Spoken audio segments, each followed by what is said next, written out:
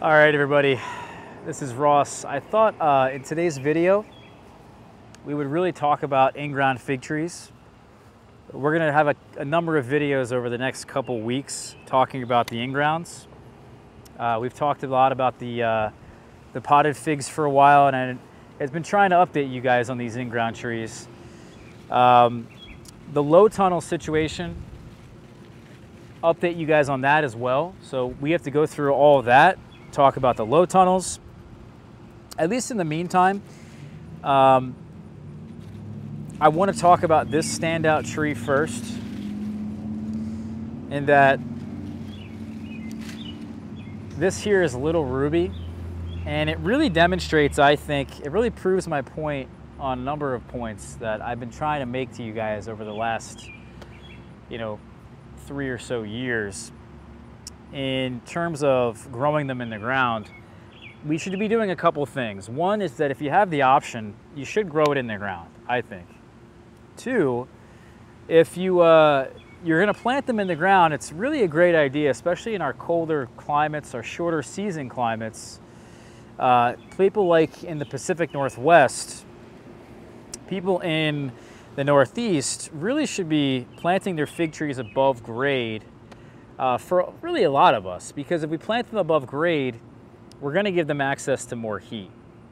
And that heat units are going to compound over a length of time and really uh, actually produce figs at a much earlier date and at a much higher quantity. So any of that extra heat we give them in the beginning of the season, because the plants are above grade, they have access to more heat units in the soil.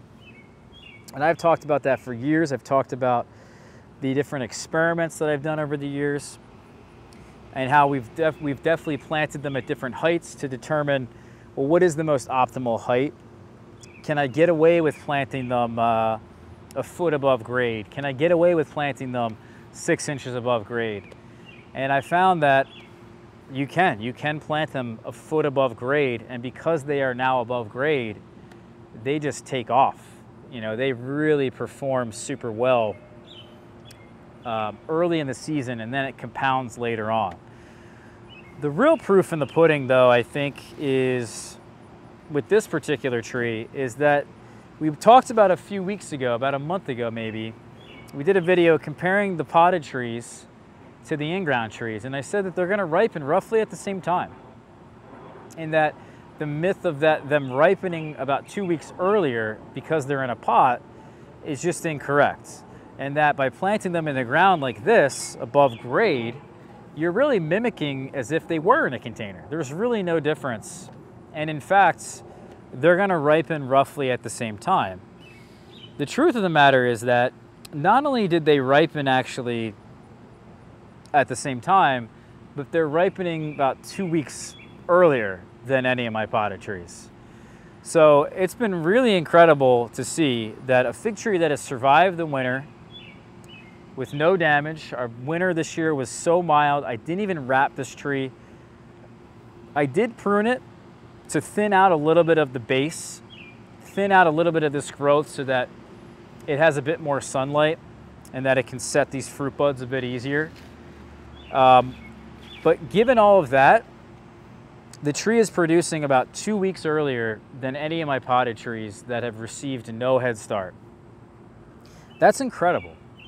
So it almost makes me think that, well, I should really be planting a lot of them in the ground and even if I don't want to do the low tunnel thing, or if I don't want to grow them underneath a high tunnel, you know, my next best bet is just grow them in the ground and wrap them every year, get them through the winter time, and they're gonna produce extremely early. So this little ruby tree here, although it is a very early variety, I've definitely realized that it's extremely early. Um, it is producing early August for me, which is incredible. Um, I've already harvested about 20 figs off of this tree, if you can believe it. And there's more of them today. We're almost at mid-August right now. But as I said, in early August, this thing was just producing its first figs. And even before that, it was producing Breva. And historically, I've not been a great fan of this variety. uh, simply because the fruits are just so small. And, you know, I like Nerucciola de Elba, it's quite a small fruit, but the fruits are very good. And I just realized you guys couldn't really see in there. Try that again. Yeah, it's a little better. But Nerucciola de Elba is at least very tasty. And even though it was small, I didn't mind it was small because it was tasty. But this little ruby here has been very, very good. I've been extremely impressed by the fruit quality this year. It's one of the figgiest figs I've ever eaten. Um, I would argue this is really, I think, a four out of five. It's, I think, a keeper. I think it performs really well.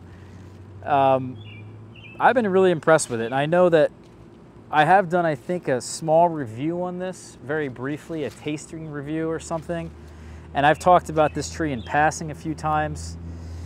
Um, it really has changed over time. And I would, I would actually argue this is a great tree for a lot of people. Produces a breba. And even with the breba, by the way, it usually would slow down the main crop, but it hasn't. The main crop has been just as early as I, more than what I would have expected, even with that breba. And uh, it's just producing like crazy. The figs are a lot bigger now as this tree has been planted in the ground. It's been more established. The trees, the figs are like maybe even two or three times the size as they normally are, which is fantastic. Um, I still would argue it's a very low vigor variety. This is one of the truest dwarf fig varieties you'll ever see. I think it's incredible in that sense. And you know what? It would make a pretty good dwarfing rootstock. Is that that's really why I kept it for years because I didn't think the fruit quality was great. But the, uh, believe it or not, it's such a dwarf that I thought it would make a really nice dwarfing rootstock one day. And uh, I actually think it's pretty good on its own. I mean, I actually feel really comfortable about spreading this variety around to people. I think it's probably very hardy. Although it did survive the winter this year, I think it survived the winter another year, and it was significantly colder that year. So uh, I have to look at my records, but yeah, this variety overall just, as I said, very impressive. I could go into a lot of details about it, but the main message here, as I said, is that we should be planting these guys in the ground.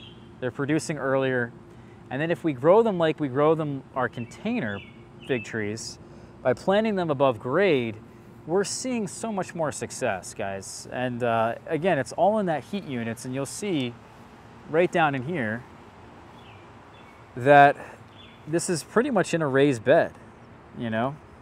Again, it's a little shaded down there. I'll turn up the brightness. You can see those landscape bricks right there. And they have uh, basically been constructed and they enable this tree to pretty much be in a raised bed. It's about four inches high off the ground. There's rocks on top all that excess heat in the spring, as I said, really adds up over the length of the season. And it enables that tree to actually produce figs earlier than any of these potted trees by quite a bit. Now I did get a Dottato over here off of one of these very mature trees that a friend of mine gave me and they're producing on the tips on these apical buds rather than on a lateral bud. And I think that also contributes to the fig being a bit early. So it's hard to say, honestly, if um, the in-grounds, if I wrap them, will produce earlier consistently than these potted trees. I don't necessarily, I'm not gonna make that claim just yet, but I will make the claim that they will produce at the very least at the same exact time as these potted trees. So you really have nothing to worry about in terms of planting them in the ground. If you have a spot, you have a warm, sunny west southern exposure, plant it in the ground there, guys. You're gonna be very surprised, I think, at uh, you know how well that tree does. So that's my little just lesson, you know, these trees are, I'm telling you, they're doing so much better than these potted trees. And there's so many other reasons too that they're just behaving so much better in the ground than they are in pots as well. Like the figs are just dramatically different on some of these varieties I've noticed.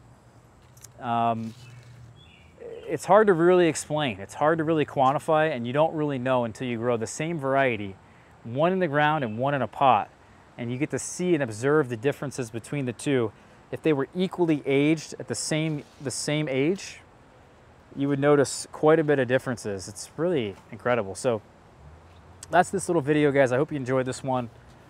I'm sure a lot of people agree with me and say, oh, duh, Ross, but you know, trying to get that, that message across to people that don't necessarily understand it or maybe are a little stuck in the ways of containers. And um, they see a lot of people do that.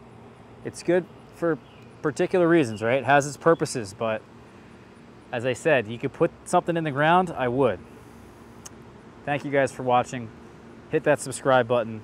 We'll see you for the next one. Take care.